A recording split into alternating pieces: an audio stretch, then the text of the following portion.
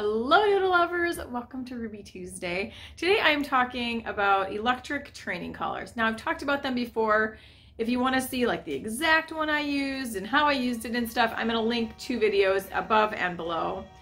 It's my clock is gonna ding a long time. One that we used, it beeps, it buzzes, like it vibrates, and it also shocks. So the first question is, does it hurt? People are so concerned about the vibration. So years and years ago when they first came out, I would have never used it. I mean, they just, they were not, um, what's the word? They were not friendly to the dog. But times have changed. Technology is just amazing now. And the colors now are so gentle, like so incredibly gentle. Um, so the one we had goes from 1 to 100 when we're talking about the shock, which is, you don't really hardly use that. But anyway, that's the what people are concerned about like if you put it on one, it's barely de- detectable on like your hand. And to a dog, they wouldn't even perceive it. Like they just wouldn't. For what we set it on, maybe 20 or 30, but whatever it was, you could take it and put it all over your body. Like my my three year old at the time, my three year old at the time was able to do that, and it does not hurt. It does not hurt. It's more of a like an annoyance. It feels like kind of like an insect crawling on your skin. Um, it's like I don't know. It, it just it doesn't hurt. It does not hurt. It it more for her, it more startled her, but it does not hurt them. And you don't want it to hurt them. Um, you can go up as high or low as, low as you want. If you have really thick fur, like she had, she has some really thick fur. You definitely need to go up a little more. Like we, I think it was at 30 for her because she didn't even like flinch or feel it or anything when she when it was lower than that. We all tried it in multiple places on our legs and our arms and our hands and our wrist. It doesn't hurt. It's just um, you have to like get over the fact that you think it's hurting them because it's not hurting them. Age, a lot of people say, "Oh, I'm going to get this for my puppy," but you have to make sure that your puppy knows all the basic commands. You can't just you have to train them without it first. They need to know all the basic commands exactly know what come means, know how to sit, they need to know how, how to do all those things before you use the electric training collar. And the companies all say six months. That's what they recommend. That's like the standard age they recommend is six months. And, um, but I've read multiple blog posts and stuff, and they say that it's just not one size fits all. That really, if your dog is ready, um, they're ready. Like if they're 12 to 15 weeks even, and they know their commands, they're probably ready for it. You just be the judge of that for your dog. We could have totally done it earlier with her because she knew all of her commands and everything. I trained her three times a day until she was 12 weeks old, and then I backed off to like once or twice a day. And um, I didn't start using the electric collar until she was two two weeks shy of six months. My husband's like a rule follower, so he wanted to go by what the training directions said on the training collar, but I would have had no problem using it a little bit earlier than that. The main comment that I get on my electric training collar video is why use them? Why not just do positive reinforcement to train your dog? So I have an article, I'm gonna link it below.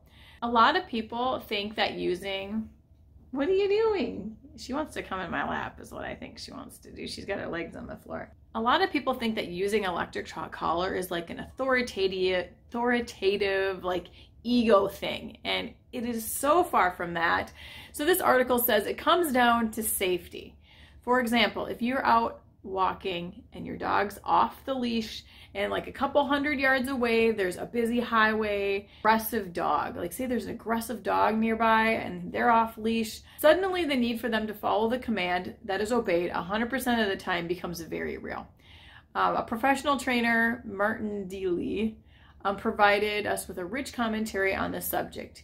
He nicely summarized off lead situations in off-lead situations, electric collars provide the ability to communicate with your dog, guiding and helping them to avoid potentially dangerous situations. And it just goes on. It's a really, really great, great article about it. And um, for her, like her life is so much better because I use that training collar. She, I taught her boundaries, the whole entire farm. She can run the entire farm with nobody outside with her she knows and she's learned from that training collar that she cannot cross the road. She cannot go on the road. She does not exit the fields because we're surrounded by fields. She knows the boundaries and it has been, and it was an amazing tool. And so is such a safety tool. We have a busy road out here. Um, for her to be able to be outside by herself, I mean, what an amazing life for her.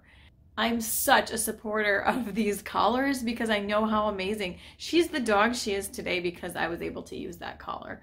Um, it's just an amazing device. So the very first time that I used it was for Come when she was off the leash and I wanted her to come to me because it's a safety thing like I just said like when you want your dog to come they need to come and that is the first thing I used the shock feature for was if she didn't come I would beep it she still didn't come. I would vibrate it. She still didn't come.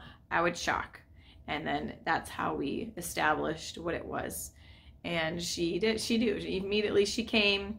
And after that she knew beep. Well, I beep it she would come. So you you don't really have to shock them even though it doesn't hurt them and whatnot you don't have to do it much because they learn so fast and they're so smart and then they learn that oh that beep means if I don't listen it's gonna buzz and if it, I don't listen then it's gonna shock so that's just how I went about it. But before I taught boundaries, I'm going to do a separate boundary video, but people have been asking this. I just want to give you a kind of an idea. I had her on a leash and I'd walk around the whole farm. I'd walk back and forth around the front here in the front of our house where the road was. I'd walk her back and forth. And if she went down like into the ditch, I'd pull her back and say no. And um, so before I, I even started the training collar, I did that many, many, many times. So that is how I started boundary boundary training. But then ultimately, I used the shock feature for when she went when she knew where she was supposed to go. She dove down like into the ditch to go up on the road, and I shocked her. And I don't think I don't think she ever did it again. Honestly, I really don't think she ever did it again. Hi, how are you today? It is an amazing device. I highly recommend it. If you have any other questions, comment below. But those were some of the main three questions that I get all the time. Um, the age, just six months, or if they're ready, they need to know their commands. And why use it? Why not just do positive reinforcement? It's a safety thing. It's it's definitely a safety thing. Um, and um, does it hurt them? No, it does not hurt them. It does not hurt them. So I'm going to link that article below. It's a wonderful article that really details, like explaining about it and why it's a, such a wonderful thing. So, all right, thank you for watching. I will see you next week for another Ruby Tuesday. Bye.